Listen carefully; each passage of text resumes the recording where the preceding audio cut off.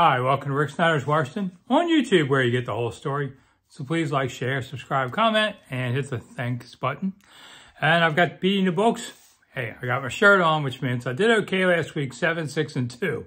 Okay, that's like an 8, 8, and 1 season. But and it's not a loser, so I'm now 61, 56, and 3 on the year. I got the picks for you today. Plus, at the very end, stick around, got a Breeders' Cup pick for you today. All right, let's start off. Washington Commanders. I'm taking plus two and a half against New England and over 40 and a half. I like the over 40 more than I like the straight pick. Over in England this morning, uh, Sunday morning, Miami, I'll take plus two over Kansas City. Wow, should be finally a good game over there for everybody to see. Atlanta, minus four over Minnesota. Baltimore, minus six over Seattle. Arizona, I'll take the 10 versus Cleveland. And the Rams, I'll take plus three against Green Bay. Uh, Tampa Bay plus three against Houston. New Orleans minus eight and a half against Chicago.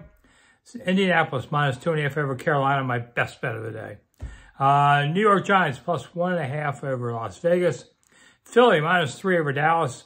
Cincinnati minus two and a half against Buffalo. Ooh, that's going to be a good game. And I'll go Jets as my upset special plus three and a half against the Chargers. So going down the list, Washington in the over. Miami, Atlanta, Baltimore, Arizona, Rams, New Orleans, Tampa Bay, Indianapolis, the Giants, Philly, Cincinnati, and Jets. Breeders' Cup is today, my favorite day of racing. The only race I'm giving out is the Classic, the big one, be around uh, uh, dinner time.